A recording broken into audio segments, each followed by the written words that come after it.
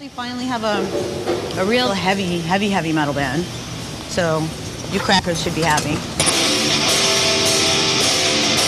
All you people do is you come on the boards and you bitch and you whine, and I try to tell you that it's not my fault, and still you bitch and whine.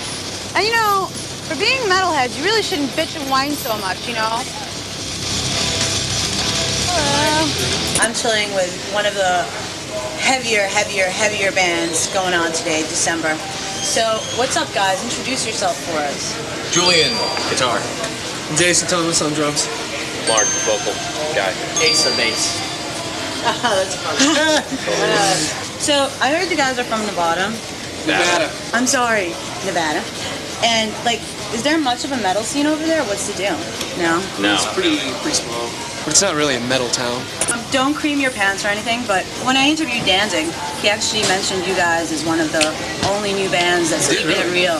I think that's The best thing I've heard. That's huge. That's Yeah. cool. We saw Dan came through Reno last time. Yeah. He rocked like Yeah. Love that guy. a evil I- Elvis. exactly. I met him. I was like,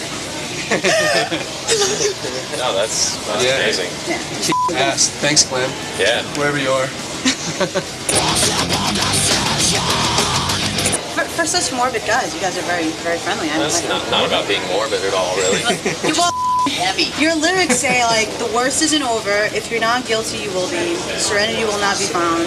What's like what's influencing these lyrics and what's Did I? Is that me? yes? Damn it. If people get something out of my words, that's cool. It's just kind of thoughts that are going through my head at the time, and I'll jot But I mean, it's very like poetic and Yeah, stuff. it's, So it's definitely poetry. you know, so uh, you're just telling me you sit down and randomly come up with all this like depressed. Yeah, like kind of stream of consciousness stuff. So so you don't believe that everybody's life is gonna end with failure and. No, not necessarily. I mean, it could. It's really up to you, isn't it? So what's the deal with the lyrics, man? what do you mean limbo here. I'm like, oh. It's just kind of things that I think about, I guess. They're sort of misanthropic, but at the same time, I like to think they're kind of hopeful. Shut Watch up. yourself. Sorry, technical difficulties. December kind of gives me thoughts of like you know the holiday season and so-called happiness, whatever. Like you know, and you, if, if anything, your your lyrics and your voice does not bring thoughts of happiness, more of like pain. Why the name December?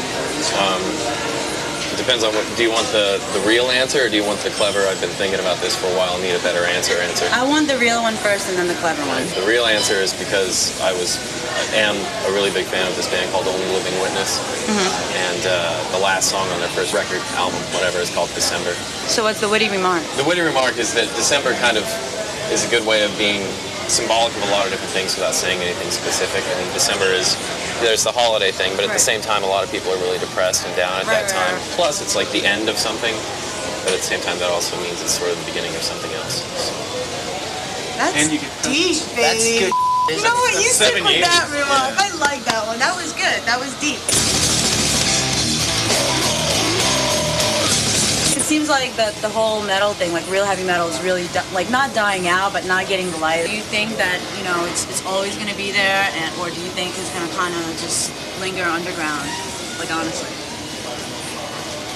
it's probably going to be both.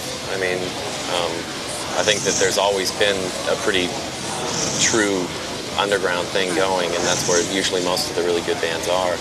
And some of them break out and some of them don't. But then, as far as like bands that are in the mainstream, quote unquote, or whatever, I mean, that, that's always going to happen too. I mean, there's trends come, trends go, styles change, but there's always going to be something that's happening under the surface, and that's usually where most of the honest music comes from. guys, rock. I love your record. Thank you for the interview, and I wish you the best of luck. Thank you. Those guys were awesome. The only weird thing I have to say is like his lyrics are so dark, and then it's like? Just come to me when I write it, and I'm like, you're not telling me something. But anyway, these guys rock, I know you are gonna love this. Rock and roll! Come on, people, you gotta do it. Yeah!